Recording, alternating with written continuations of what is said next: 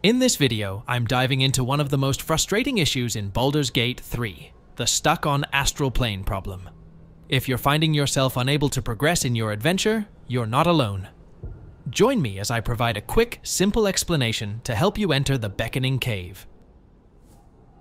So, after teleporting to the plane, searching around the rocky area reveals several places where you can jump to, but it can be easy to get stuck and not know where to proceed from there, since nothing seems to pop up as an obvious way to go.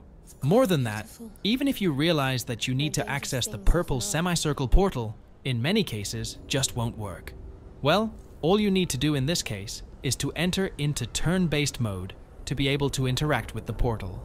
On Xbox, just hold down the A button then release it to fix the issue. Don't forget to like this video, subscribe for more gaming tips, and let me know in the comments if you have faced this issue or if my solution worked for you.